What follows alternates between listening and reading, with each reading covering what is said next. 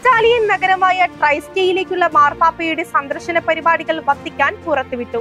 July ഏഴിന് പ്രാദേശിക സമയം രാവിലെ ആറ് മുപ്പതിന് ഹെലികോപ്റ്ററിലാണ് പാപ്പ യാത്ര ആരംഭിക്കുന്നത്. രണ്ടു മണിക്കൂറിന് ശേഷം നഗരത്തിലെ ജനറൽ കൺവെൻഷൻ സെന്ററിൽ ഇറങ്ങുന്ന മാർപ്പാപ്പയെ കൊലക്ന ആർച്ച് ബിഷപ്പും ഇറ്റാലിയൻ എപ്പിസ്കോപ്പൽ കോൺഫറൻസ് പ്രസിഡന്റുമായ കർദിനാൾ മാറ്റിയോ പരിയ സൂപ്പി ഔദ്യോഗികമായി സ്വീകരിക്കും. തുടർന്ന് അവിടെയുള്ള മീറ്റിംഗിൽ പങ്കെടുത്തതിനു ശേഷം ഒമ്പതേകാലിന് എക്യുമെനിക്കൽ പ്രതിനിധികൾ അക്കാദമി മേഖലയിൽ പ്രവർത്തിക്കുന്നവർ കുടിയേറ്റക്കാർ വികലാംഗർ എന്നിവരുമായി കൂടിക്കാഴ്ച നടത്തും. ഇറ്റലിയിലെ യൂണിറ്റി സ്ക്വയർ എന്ന് വിളിക്കപ്പെടുന്ന സ്ഥലത്ത് പത്ത് മുപ്പതിന് എത്തിച്ചേർന്ന മാർപ്പാപ്പ പരിശുദ്ധ കുർബാനയ്ക്ക് നേതൃത്വം നൽകും. തുടർന്ന് വത്തിക്കാനിലേക്ക് തിരിക്കും. അഞ്ചു മക്കളിൽ നാലുപേരെയും ഈശോയുടെ വന്യവൈദികരാക്കുവാൻ തീരുമാനമെടുത്തപ്പോൾ അവർക്ക് ബലമേകിയ അമ്മ സ്വർഗീയ സമ്മാനത്തിന് വിളിക്കപ്പെട്ടു. പാല പൈക പന്തിരുവേലിയിൽ ജോയിയുടെ ഭാര്യ മോളിയാണ് ഈശോയുടെ സന്നിധിയിലേക്ക് യാത്രയായത്.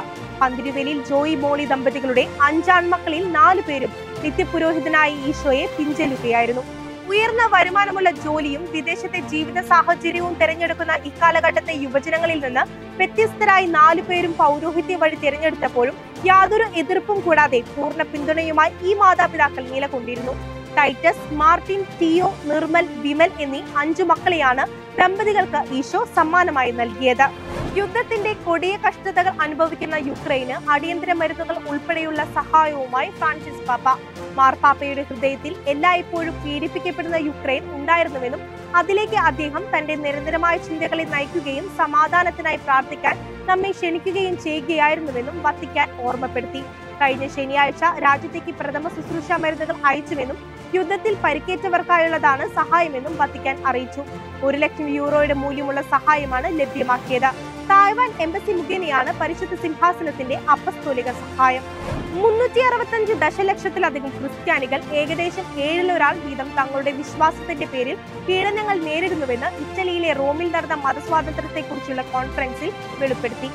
Secretary of relations with states ആയ ബിഷപ്പ് പോൾ റിച്ചാർഡ് ഗല്ലഗറാണ് ഇക്കാര്യം വെളിപ്പെടുത്തിയത്. രണ്ടായിരത്തി ഇരുപത്തി മൂന്നിൽ ക്രിസ്ത്യൻ സമൂഹങ്ങൾക്കും ആരാധനാലയങ്ങൾക്കും എതിരായ ആക്രമണങ്ങൾ ഗണ്യമായി വർദ്ധിച്ചിട്ടുണ്ടെന്നും ചില കണക്കുകൾ പ്രകാരം ഏതാണ്ട് നാല് പോയിന്റ് ഒൻപത് ബില്യൺ ആളുകൾ മതസ്വാതന്ത്ര്യത്തിന്റെ ഗുരുതരമായ അല്ലെങ്കിൽ വളരെ ഗുരുതരമായ ലംഘനങ്ങൾക്കുള്ള രാജ്യങ്ങളിൽ ജീവിക്കുന്നു എന്നത് ആശങ്കാജനകമാണെന്നും ബിഷപ്പ് ഗല്ലാഗർ പറഞ്ഞു. ചിലിയിലെ കത്തോലിക്ക പള്ളിയിലെ വിശുദ്ധ വസ്തുക്കൾ നശിപ്പിച്ച് അജ്ഞാതൻ.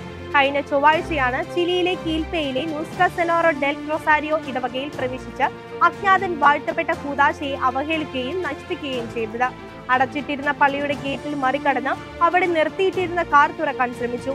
കാർ മോഷ്ടിക്കാനുള്ള ശ്രമത്തിൽ പരാജയപ്പെട്ട അദ്ദേഹം ഒരു മതിൽ കയറി ഇടവകയിൽ പ്രവേശിച്ചു. വിശദ സെബസ്ത്യാനോസിന്റെ ചിത്രമുള്ള പഴയ സ്റ്റൈൻഡ് ഗ്ലാസ് ജനൽ തകർത്ത് തുടർന്ന് ഭണ്ഡാരത്തിൽ നിന്ന് മുപ്പത് ഡോളർ രൂപയും വാഴ്ത്തപ്പെട്ട തിരുവസ്തിയോട് കൂടെ അരുളിക്കയും മോഷ്ടിച്ചു.